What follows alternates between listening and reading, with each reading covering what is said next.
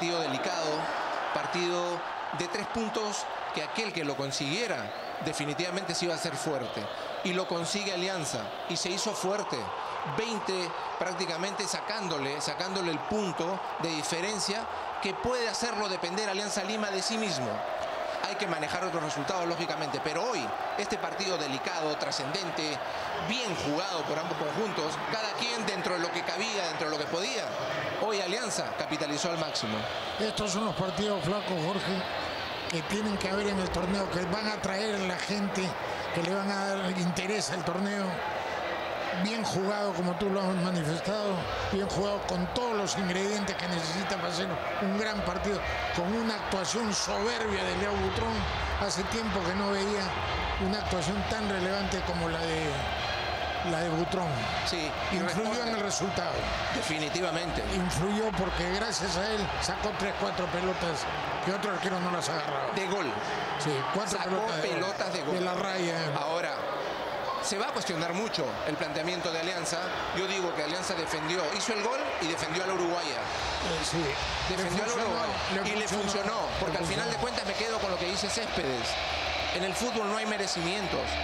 Puedes haber tenido mucho más tiempo la pelota, Ramón, pero si no supiste descifrar el acertijo, el dilema de hacerle daño a Alianza, porque encima de todo lo que planteó, tenía un Leo, un Butrón soberbio, como tú bien dices, y sin embargo no encontró resquicios, no encontró espacios, no supo hacerle daño a una Alianza Lima que defendió bien, eso es lo que hay que destacar, y que le sirvió para este partido y para el resultado final. En los remates finales no estuvo acertado Cristal.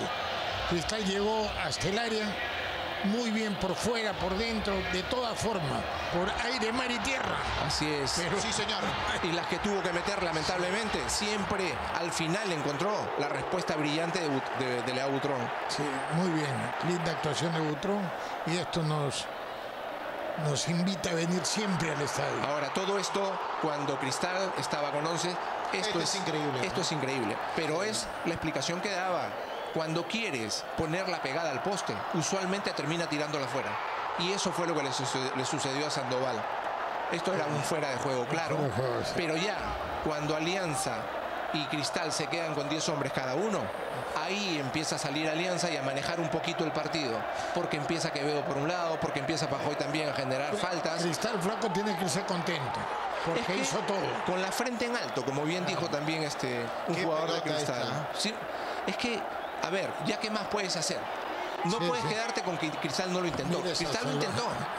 Cristal quiso. El tema es que las pocas oportunidades claras de gol encontró siempre un muro. ¿ah? Algo infranqueable llamado Leautro. Y dos líneas de cuatro que hicieron bien su trabajo. Sí, muy bien, muy bien. Cumplieron, tácticamente cumplieron. Puede no gustar, definitivamente, porque no es la alianza que, que, que, que todos quisieron, sobre todo los hinchas. Pero están punteros, están tranquilos, están solamente dependiendo de ellos mismos. Y en las últimas, hasta el arquero fue a intentar hasta Viana, ¿no? Que